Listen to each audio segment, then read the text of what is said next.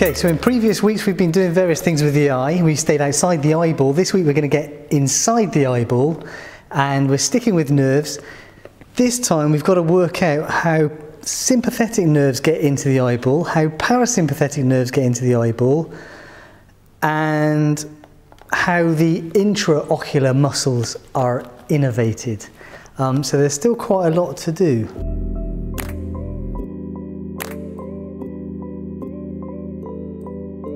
I think what we'll do is we'll start anteriorly. So we'll start with the bit we can see. We'll start with the pupil and the iris because you know the pupil gets larger and smaller. And then we'll go a step back and we'll look at the lens and the muscles that affect the lens.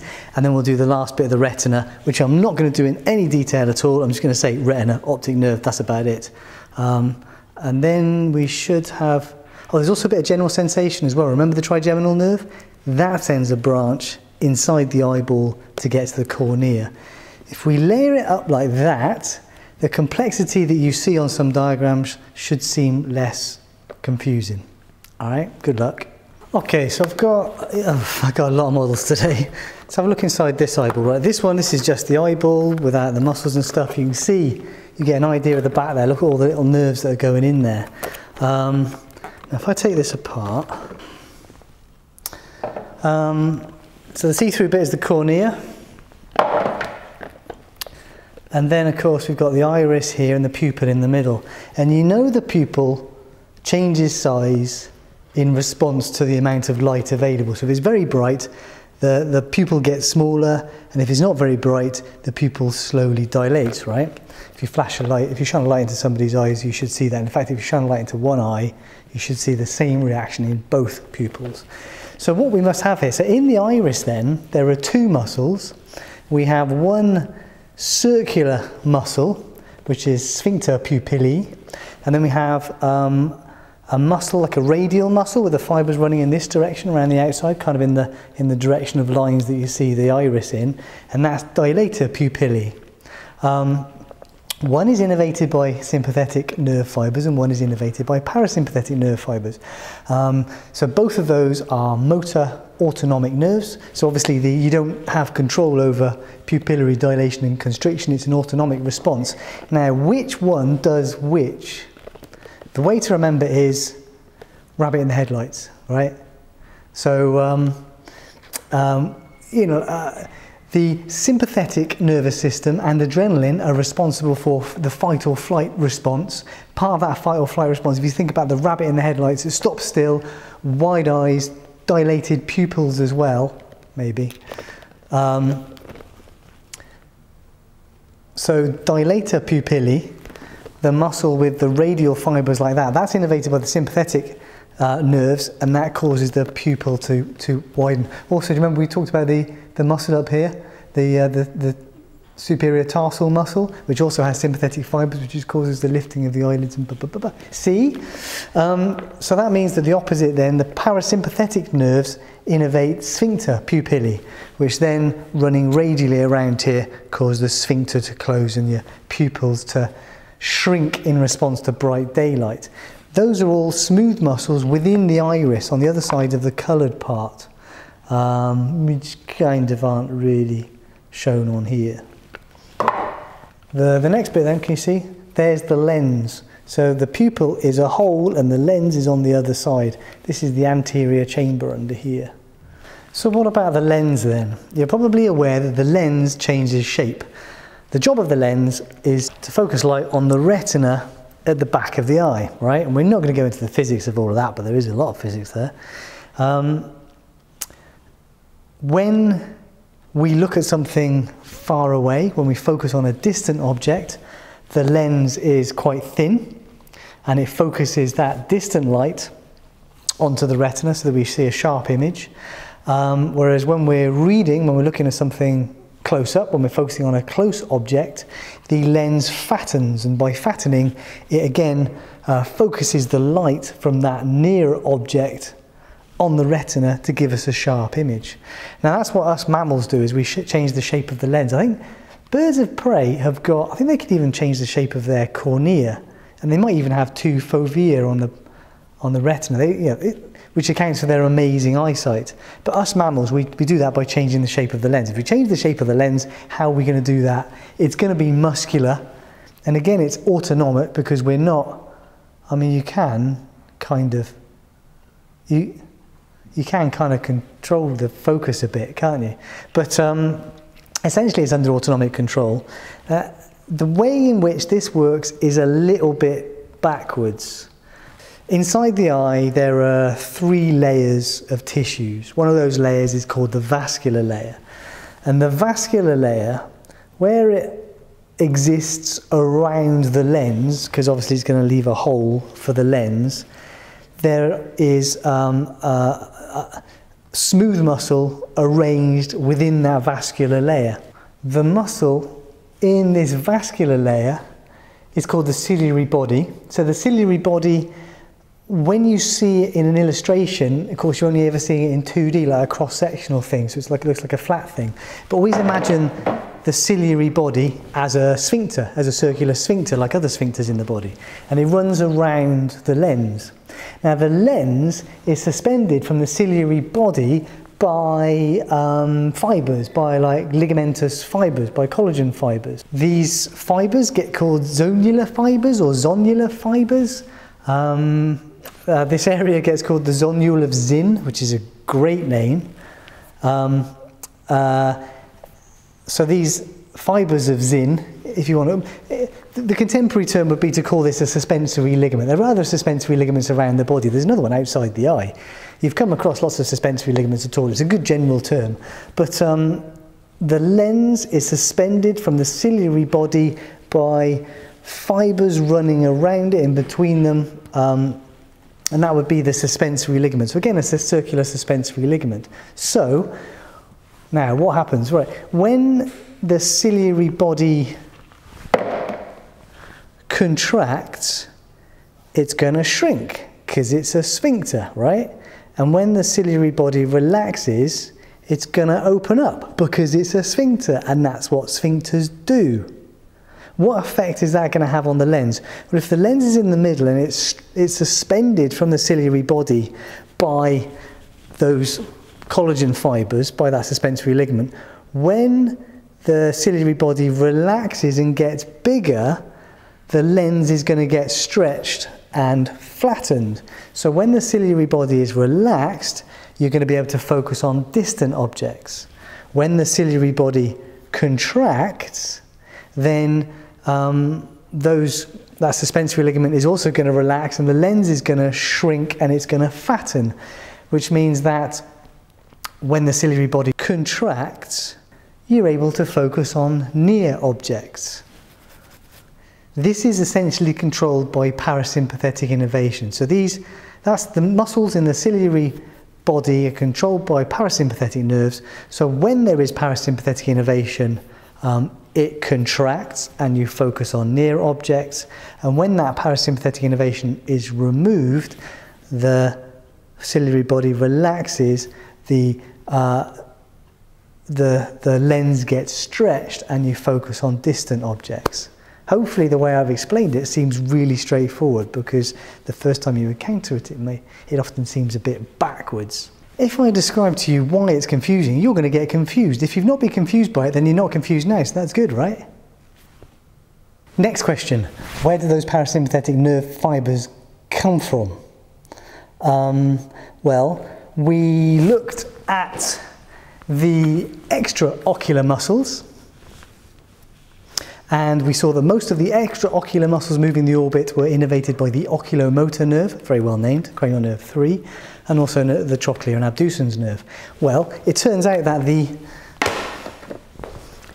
intraocular muscles are also innervated by the oculomotor nerve. Good, huh?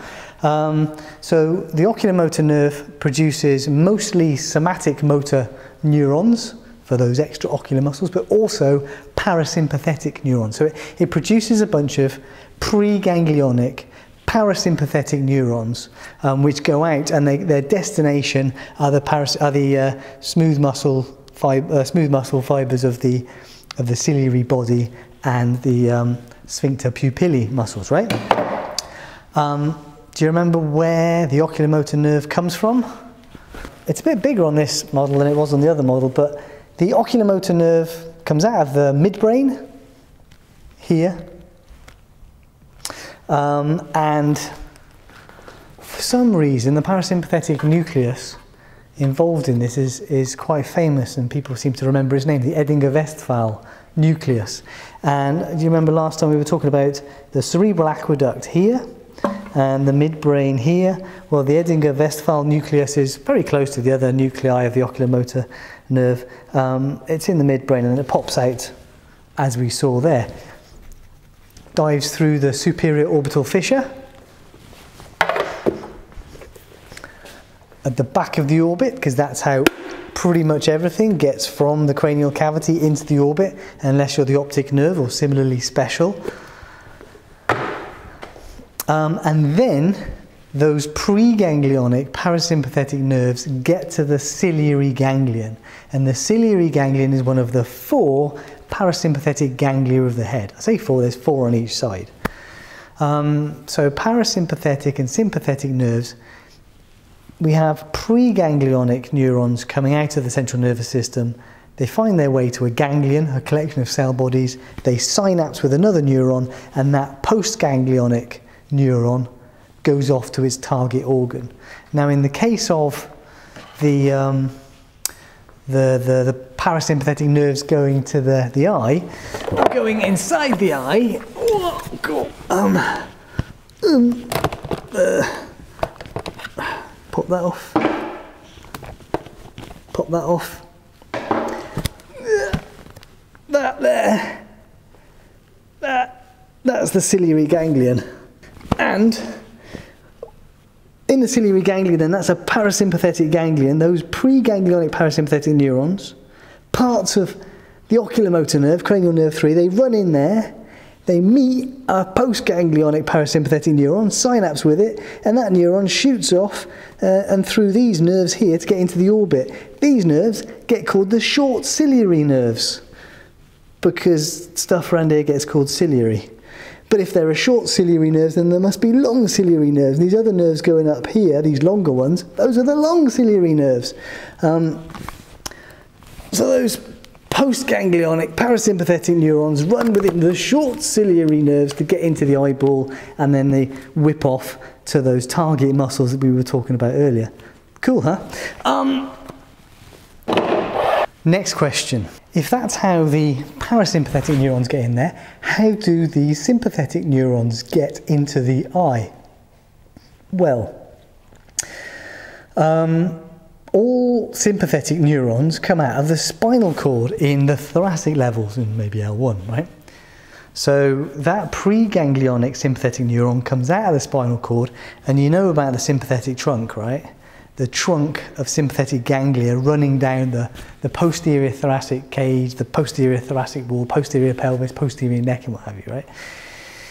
Well, the main way that sympathetic neurons travel around the body one of the main ways is by following arteries. So, of course, I'll go, go lift this up again. Right. There's the orbit, right? And then here's a huge great big blood vessel here, and you can see that it's covered in little white lines. What's the blood vessel? That's the internal carotid artery, because that's gone inside the cranial cavity and it makes this S shape. And at the end of that S shape it runs posterior to the superior orbital fissure. So postganglionic sympathetic neurons work their way up the sympathetic trunk and then they follow the common carotid artery and internal carotid artery up into the cranial cavity and they stay with it until it runs posterior to the orbit and then they jump off. Those sympathetic nerves jump off run through the superior orbital fissure, because everything goes through there, right? And then they run anteriorly through here. And they'll take whatever route they can get to get into the eye, which means that they're going to some of them will run through the ciliary ganglion. They won't synapse, they're just running through. It's just cabling, it's just a convenient route for them to follow. And they, they're within also then the short ciliary nerves and they run into the eyeball and they do their sympathetic jobs within the eyeball, which is the motor bit we just, we just talked about. There is some discussion about sympathetic nerves also affecting the, um, the uh, ciliary body and the, uh, the lens, you know, opposing the parasympathetic innervation so that when you're startled, you also focus on distant objects. Not entirely sure how true that is, but there you go. Um, so they'll do those sympathetic motor jobs we've been talking about, but also, of course, sympathetic nerves one of the reasons they're following the arteries is because they're going to affect the smooth muscle in the artery walls and, and, and, and be involved in regulation of where blood goes in blood flow. So they're also going to go into the retina and into the blood vessels within the retina and control blood flow through there.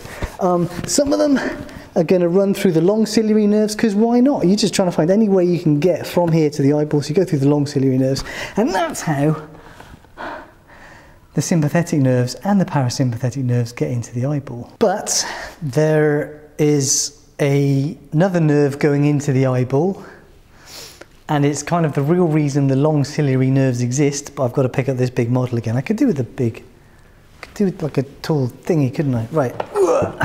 So,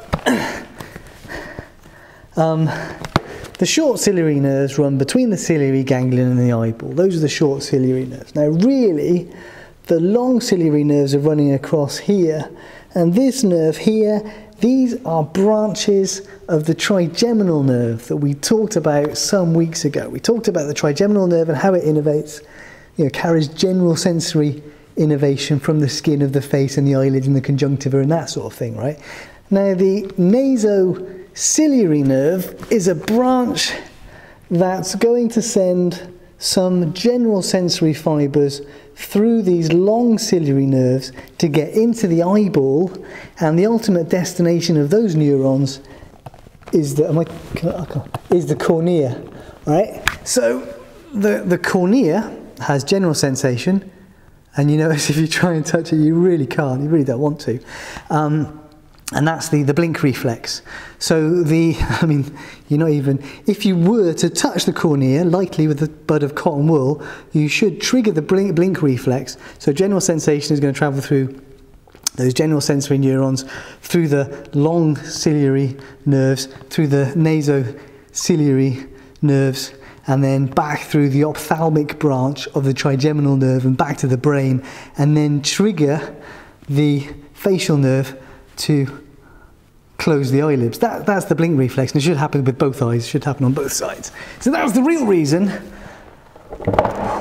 that the long ciliary nerves are there. They're actually a branch of the nasociliary nerves carrying general sensation from the cornea. The sympathetic nerves just run through there just for fun. I think that's most of the stuff that goes through the eyeball. There's obviously one big one that we haven't talked about, and that's the optic nerve.